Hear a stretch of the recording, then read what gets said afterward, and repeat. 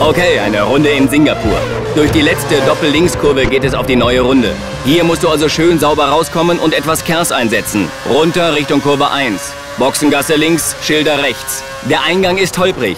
Nimm hier viel von den Curbs, aber nicht so viel in der nächsten Rechtskurve. Hart nach links einlenken, schön langsam und achte auf die Traktion am Ausgang, damit die Räder nicht durchdrehen.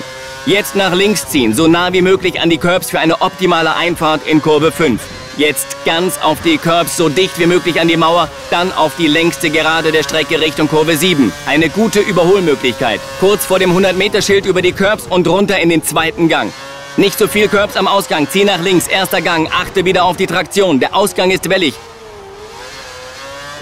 Zieh das Auto nach rechts und wieder nach links.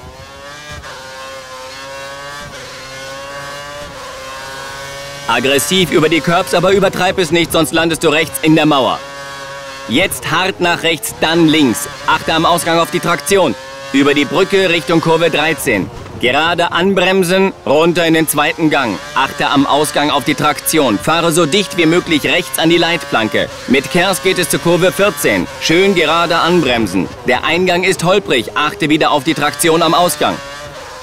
Die Curbs können dich in die Mauer ziehen. Halt das Auto Richtung Kurve 16 so gerade wie möglich. Nicht zu schnell und sauber in Kurve 17.